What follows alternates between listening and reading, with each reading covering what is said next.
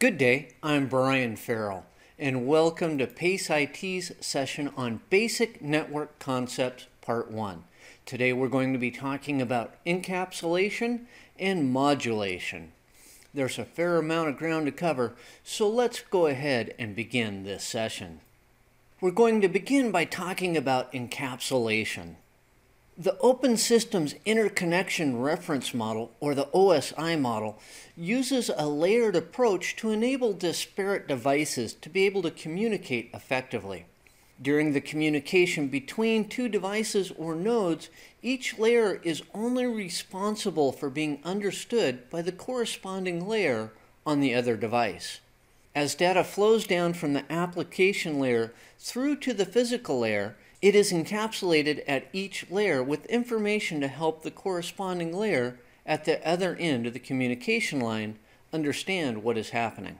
As the data is received at the other end, it is de-encapsulated or unwrapped as it moves up the OSI stack by the corresponding layer. Let's talk about how encapsulation works. The application layer begins the process by sending data that is encapsulated or wrapped with application layer control information to the presentation layer. The encapsulated data is called a PDU or Protocol Data Unit. The application layer PDUs are segmented by the presentation layer, with each segment being encapsulated by presentation layer control information. They are now presentation layer PDUs. The process of segmenting and encapsulating continues down through the OSI stack until it is transmitted as bits by the physical layer. The receiving physical layer passes the bits to the receiving data link layer, which reads the data link layer PDU information and then de-encapsulates and desegments it, sending the new packets to the network layer as network layer PDUs.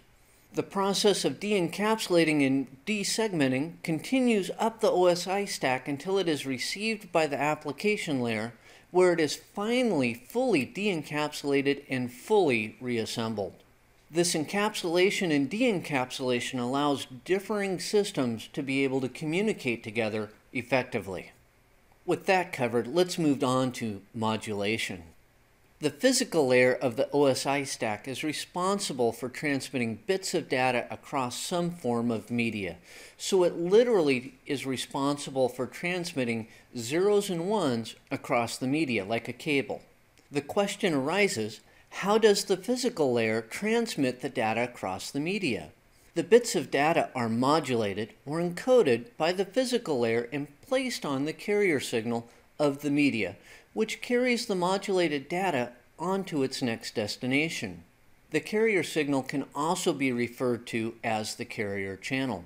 Once the bits are received, they are demodulated or unencoded by the receiving physical layer. A carrier signal is a standard waveform, usually in the form of a sine wave, that is used as the base carrier of another input signal.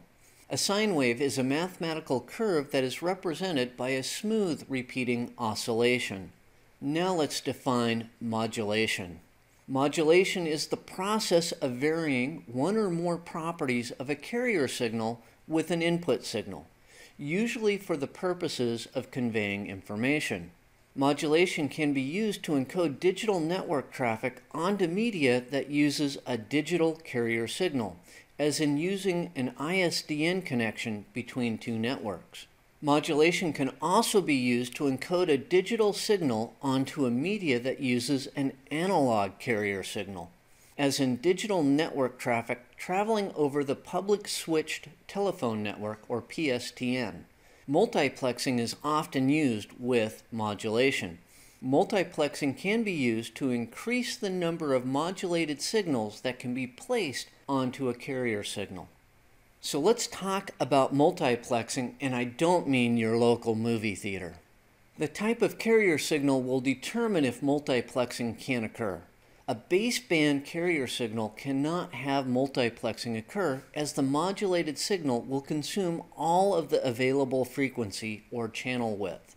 Multiplexing can be utilized on a broadband carrier channel as each modulated input is assigned a portion of the channel width of the carrier channel. Multiplexing can use one of two methods to weave streams of modulated signal into the carrier signal. There's frequency division multiplexing. This is the process of mathematically dividing the carrier channel frequency into multiple segments and assigning the results to modulated input signals. Then there is time division multiplexing. This is the process of mathematically dividing the carrier channel width into multiple time segments and assigning the time slots to different modulated signal input streams. It's time to talk about the difference between a baseband and broadband carrier channel. And we're going to begin with baseband. A simple definition of baseband is a stream of data that is sent over a carrier channel as a digital modulated signal. The digital signal will take all of the carrier signal's available frequency or time. While the modulated input does take all of the carrier channel's available frequency, the communication is bidirectional. It can flow back and forth. A simple definition of a broadband carrier channel is a stream of data that is sent over a carrier channel as an analog modulated signal. The analog signal will be assigned a portion of either the carrier channel's available frequency or time. While the modulated input doesn't take all of the carrier channel's available frequency, the communication is not bidirectional. For two-way communication to take place, multiplex channels must be created. That is a channel for each direction. Now that concludes this session on Basic Network Concepts Part 1. I began with encapsulation and I concluded with modulation. On behalf of PACE IT, thank you for watching this session, and I hope you watch another one soon.